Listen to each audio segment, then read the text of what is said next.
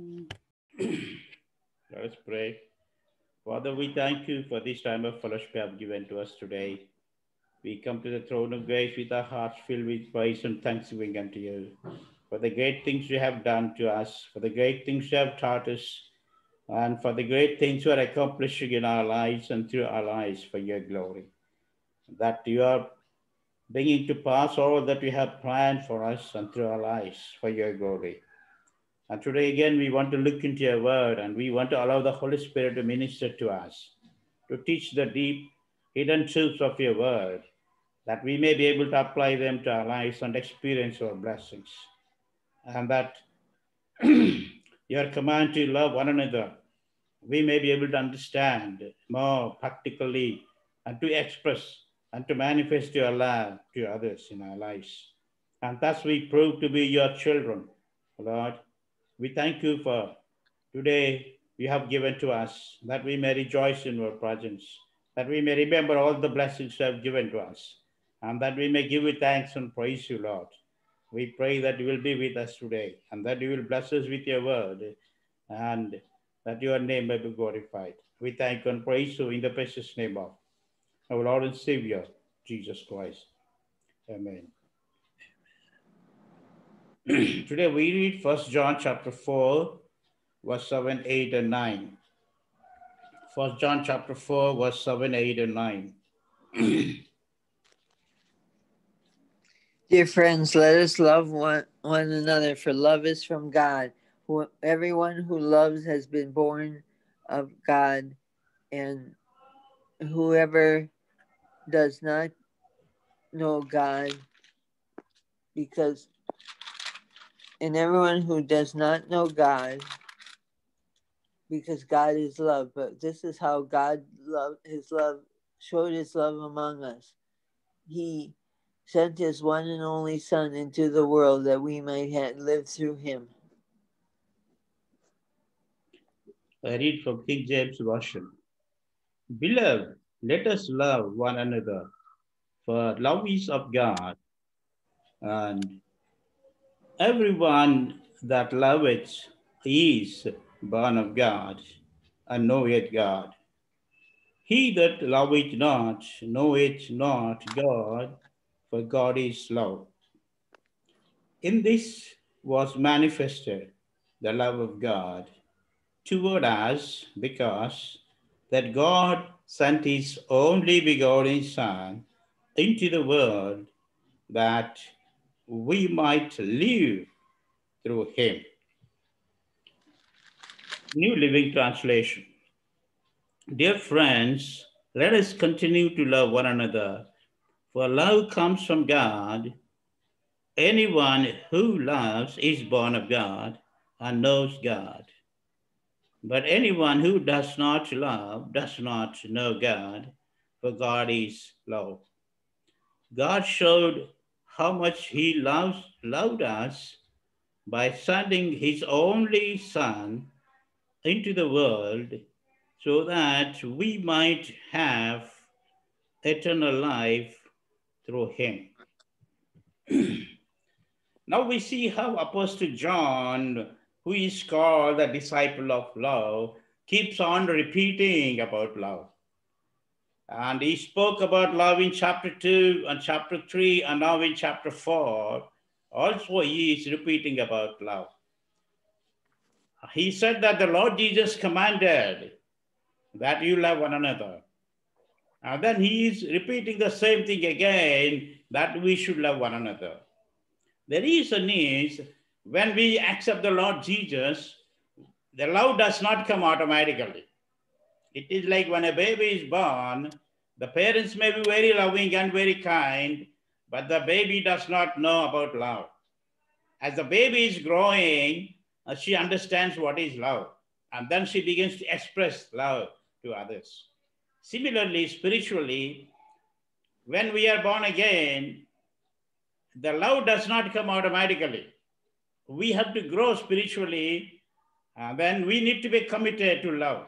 So, love is not just a sentimental feeling, but it is a commitment. so, when God says that we have to love, He's not saying love only those who, whom you like to love or who are lovable. So this is a command because it is a commitment. Only commitment can receive command to obey. If you are not committed, you cannot obey the commandment. God is not giving the command to those who are not committed. So this command of loving one another is because love is a commitment. Love is not just a feeling. And this is very important. We must understand about love. Because love is the most popular subject today in the world. Everybody talks about love, but many people do not know what is true love and do not know how to love others.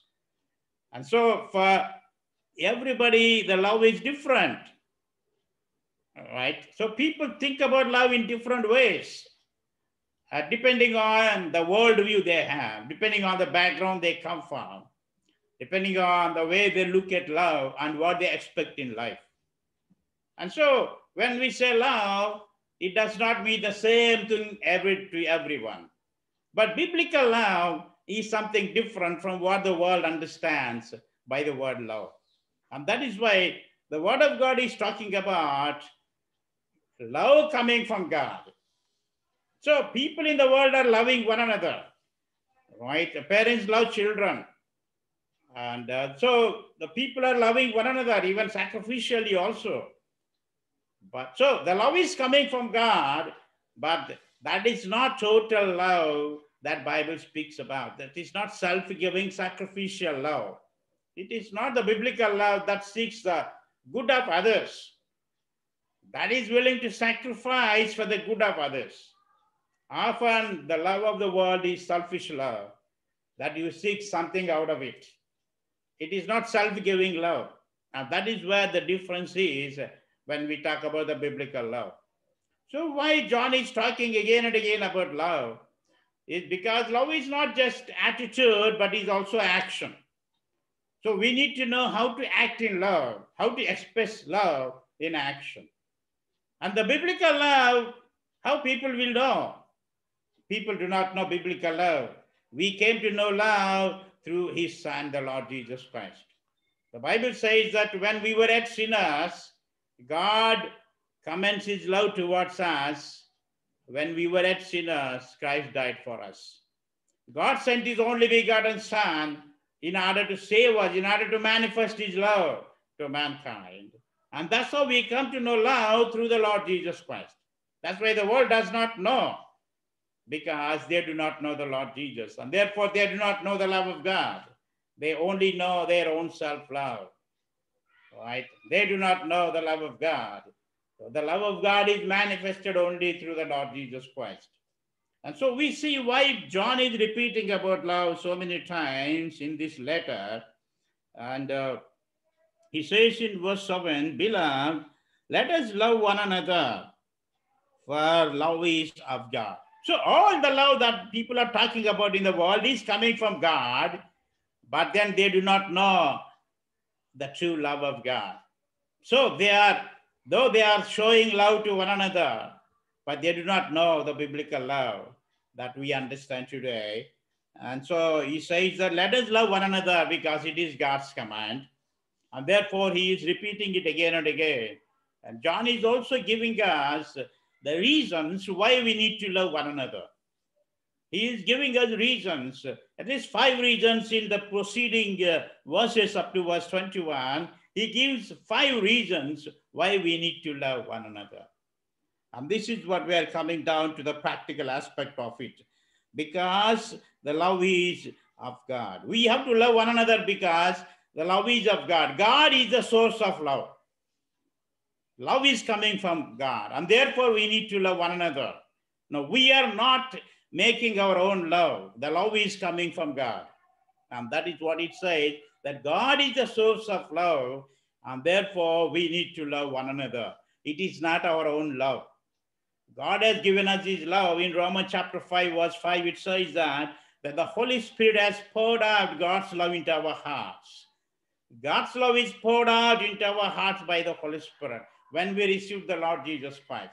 But we need to realize it and we need to experience it And we need to express it in our day-to-day lives practically. And that's how we grow in the knowledge of love. Now, the Bible talks about truth and love. These are the two important qualities that we understand from the life of the Lord Jesus Christ. Truth and love. And the Bible says first truth came through Moses that the law has been given, the truth of God has been revealed, the God standard. And through the Lord Jesus, we see the demonstration of God's love. So these are the two important qualities that the Bible talks about. These two are God's qualities, truth and love. And now, John explained about the truth in the beginning verses of chapter 4 that you need to be aware of the false prophets, that you should not believe every spirit. No, we cannot just say, oh, we need to love one another. Let us come together, love one another. Whatever they are preaching, we don't have to worry about it. Now, that becomes compromising. So love does not compromise truth.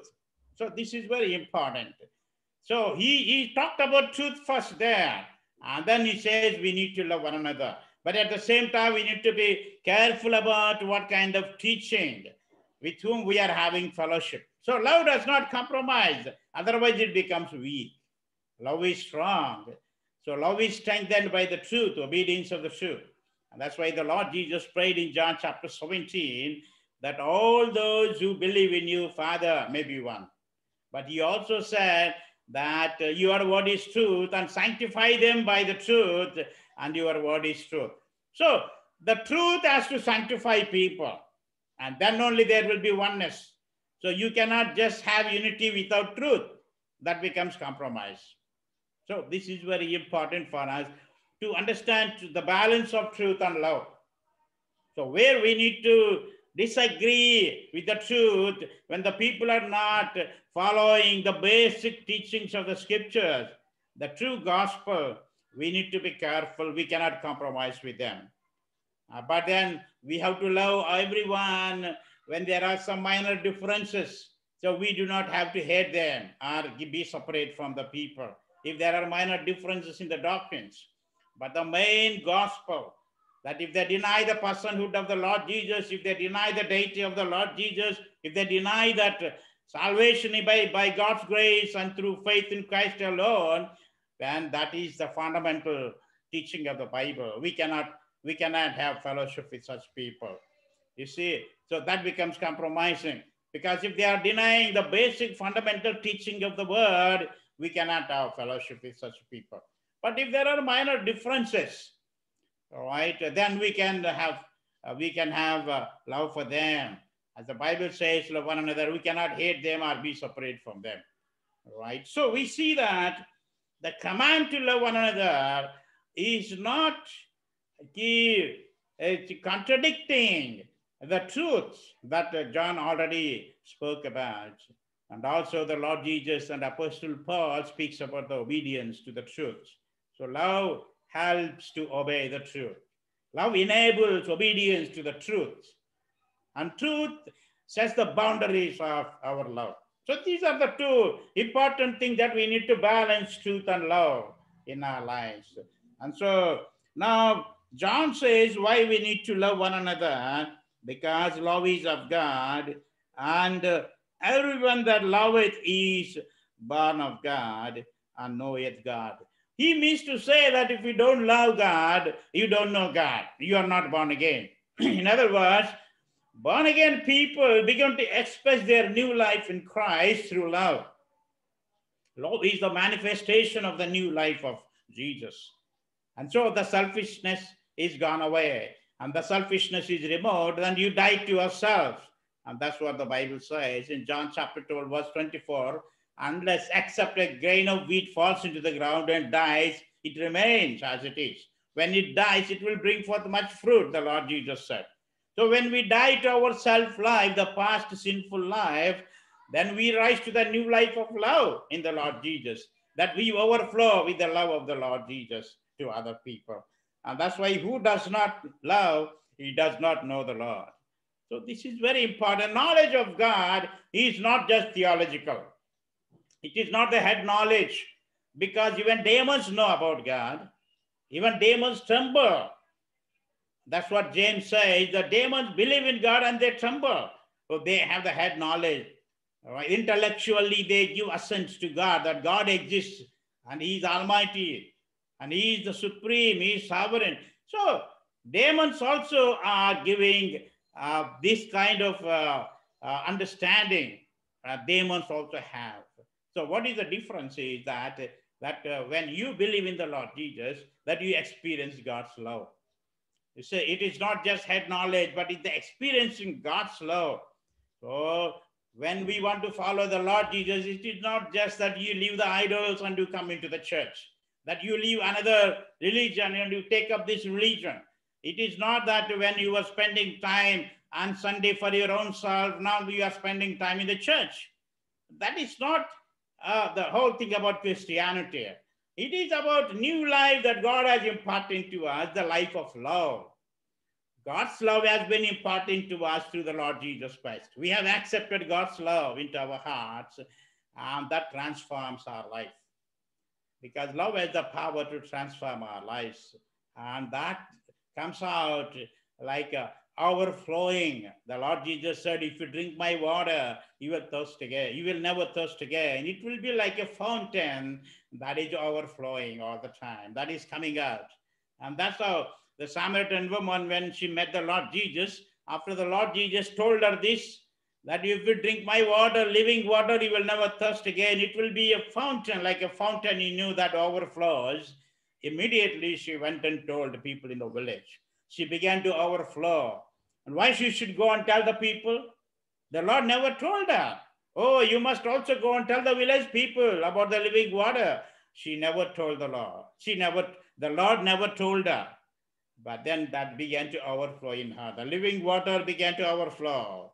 And then she went and told the villagers that I have met the Messiah.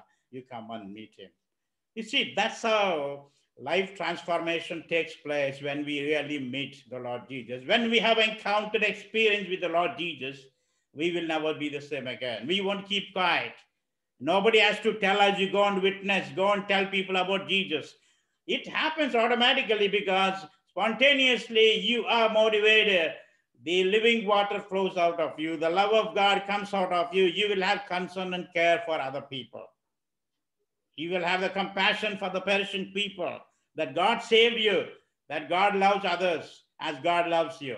And you want to tell about that to other people, that God loves them.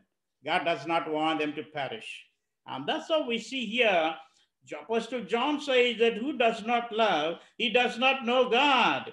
And uh, he has no experience of God, he says. And verse 8, he that loveth and knoweth uh, not God, he, he does not know and he does not love God. See, when we express love towards one another, it shows our love for God. Because God is coming down, the love is coming down from God, and that love we are passing on to others. When we are not loving others, we are not expressing God's love, and we do not have God's love in our hearts. In that case, John says you are not really born again. You do not know God at all. You do not know what it means to experience God's salvation, new life in Christ. And then he, he gives the, uh, these three words God is love, because God is love. And now it appears very simple when we say, Oh, God is love. But uh, someone said that it is very difficult. It is very difficult to understand that God is love when we see so many things happening around you in the world. At least five you know, at least five things are uh, understood from this word God is love. So we see Bible speaks about God's love in at least five different ways. Number one is that the peculiar love of the Father for the Son and of the Son for the Father. We see in John chapter 3, verse 35, and John chapter 5, verse 20, and chapter 14, verse 31, and chapter 17, verse 24, the Lord Jesus prayed, the Father, that you have loved me from before the foundation of the world. You see the peculiar love of the Father for the Son and of the Son for the Father. They have a special relationship of love, Father and Son. Even before the foundation of the world, the Bible says. Number two, God's providential love over all that He has made. You see, God's providential love for all that He has made. He cares for all of His creation, so that not even a sparrow falls to the ground without His permission. We see God's, God loves the whole creation and He's taking care of the creation. He is giving us sun, moon, and stars, light, and also the weather and the water. All this He is giving to His creation because He cares. He loves the creation. And number three, God's salvific uh, stance toward His uh, fallen world. God's salvific stance that God wants to save the fallen world. So in John chapter 3, verse 16, we read that God so loved the world that he gave his son. You see now, here God's salvific stance toward the fallen world. And number four, we see God's particular effective selecting love toward his elect. Bible says that God has elected some people, he has chosen us before the foundation of the world. And many passages in both the Old Testament and New Testament affirm this uh, aspect of his love. That how God has chosen people, like he says that I allowed Jacob and I and uh, I rejected Esau. So he has chosen some people, all right, because the whole world is not going to believe in God. And therefore we see God's particular effective selecting love toward his elect. Number five, uh, God's love is sometimes said to be directed toward his own people in a providential or conditional way. Conditional, that is uh, an obedience. And that's what Jesus tells us in John chapter 14, verse 21, that he who has my commandments and keeps them is the one who loves me, and he who loves me will be loved by my Father, and I will love him and will disclose myself to him. So this is the conditional love that God has towards uh, his people who are responding to his loving obedience. Now, in these five different ways, Bible speaks about God's love. And so we also see how the Lord Jesus had particular love for his apostle John, and he is called the, the disciple of love in John chapter 13, verse 23. Of course, the Lord Jesus loved all of the disciples with a special love, but he loved John in a unique uh, sense. And so we see how seemingly simple statement like God is love is not quite so simple after all. But John wants us to know that the foundation for our love for one another is God, who is the source of love and whose very nature is love. When he says that God is love, God's very nature is love. And his judgment, his wrath, his punishment, everything, all these things are coming out of his very nature of love. That's why when people question and say, if God is love, why so much of suffering? Why there is hell? Why God is going to judge the sinners? And that means they are contradicting these qualities of God. No, they are not contradicting. You know, they all flow out of his love towards people that he has chosen. And in all these five different ways, we see how God is love, that his love is manifested.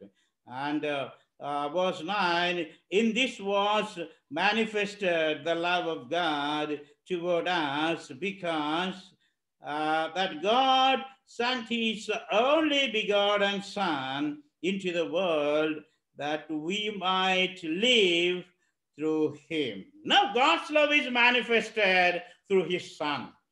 And we see this is very important uh, truth that we need to understand that how we how God's love is manifested is that that we might live through him that we may experience a new life that will be manifested to the world and that's how people come to know God's love through our lives so God wants our lives to reflect the love of God to the world and so the world cannot see God's love directly. They will see his love in us. That's why the Lord Jesus said, when you love one another, and the world will know that you are my disciples. And the people will know who Jesus is because of our love for one another. And these are the beautiful truths that John is expounding for us in these uh, few verses. He says that uh, he sent his only begotten son into the world. This is the self-giving, sacrificial love of God.